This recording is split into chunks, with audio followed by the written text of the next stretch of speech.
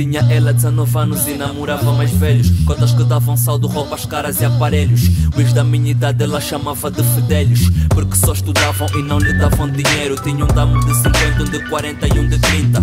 Todos casados, só que cheios de guita. Alegava que os amava e todos do mesmo jeito. Tanto que era muito mansa e não faltava respeito. Apresentava as amigas sempre delicadamente.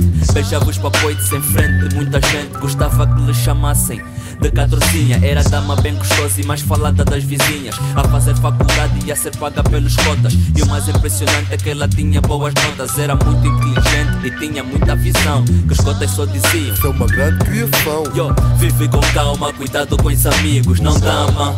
Desta vez a culpa é tua. Às vezes dizem neles onde está o perigo, nada a ver. Tu é que preferiste a rua. Vive com calma, cuidado com os amigos, não dama. Desta vez a culpa é tua. Às vezes é neles onde está o perigo, nada a ver. Tu é que preferiste a rua. A mãe dela sabia e até apoiava. E com os caminhos da filha, a cota também se levava. Três damos, três mesadas, é assim que ela pensava. Então a mãe concordava e assim a coisa andava. Lhe ofereceram ideias, o carro das amantes, como diz o nosso povo, mas isso não é relevante. Tinha um monte de ambições, queria ser empresária. Então decidiu pôr mais um papoite na área. Mulato gordo e feio, mas cheio de dinheiro. Era mais um combo extra para seu investimento. Complicado era gerir tantos relacionamentos, mas ela tinha habilidade e arranjava sempre tempo para um, para outro, para outro e para outro. Para mãe era alegria, mas pro pai era desgosto. Mas epa, ele era inteligente e tinha visão. Que os contas só diziam. Isso é uma grande criação. Yo, vive com calma, cuidado com os amigos, não dama. Desta vez a culpa é tua. Às vezes é neles onde está o perigo, nada a ver. Tu é que preferiste a rua. Vive com calma, cuidado com os amigos, não dama.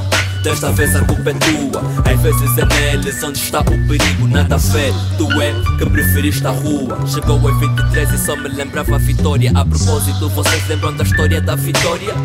Pois, HIV com a indivídua descobriu, ficou maluco e quis tirar a própria vida.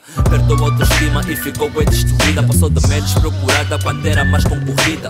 E a mãe que apoiava hoje só sabe lamentar por ver a filha na cama que já não consegue andar. Com manchas no corpo, apesar de 30 quilos, vendo que viver nas calmas dá-nos futuro tranquilo, fazendo tudo nas cuecas, com o corpo todo imóvel. Olhando pras roupas e pros telemóveis, vendo que o pecado um dia nos fará sofrer. Por isso é que todos têm que saber viver. Os teus amantes hoje nem querem lhe ver, ela liga a pedir ajuda e dizem: Olha, jovem, eu tenho mulher.